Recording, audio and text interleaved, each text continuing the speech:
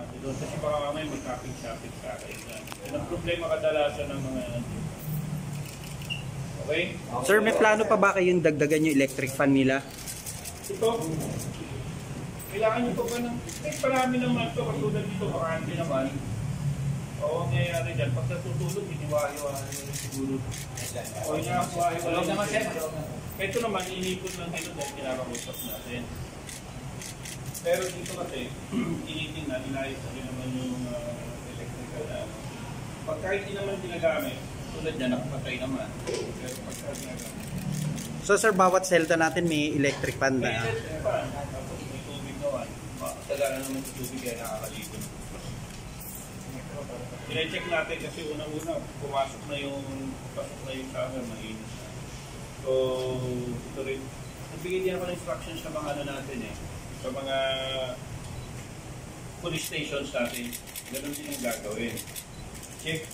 Tapos, palaguin sila, linisin yung mga ano natin, mga kulungan natin. Para sa kanila rin yun. Tapos yung mga kinainan, talaga sila agad. Mm-hmm. Para Okay? Dito rin. Ano ka to? 11. 11. Oo. Kada umaga, maligo kayo ha. Kasi tawag dito, may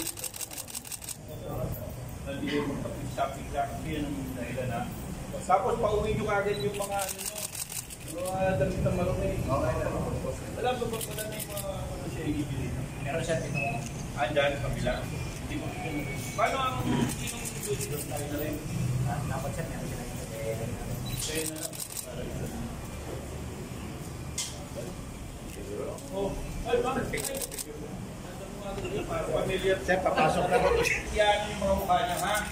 Oo, sige. Pwede kayong tumungo. Wala naman. Eh, sa akin naman ito sa amin, ha? Kayo makamamaya isipin ninyo, lalabas yung mga mukha niyo sa...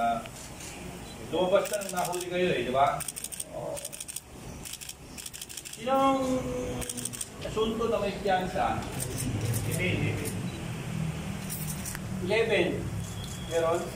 Wala. Bakit kayo? Awaran po. Gratis kita po. Tapos, Nabuhay po eh. nabuhay. Sorry, bayad lang. Kailangan ko ano. Asan yung kaso mo? Nasa, ano, brand ka. Sa brand? Brand certified. Ano nangyari sa dito? Mapila yung mga... Hindi ko alam eh.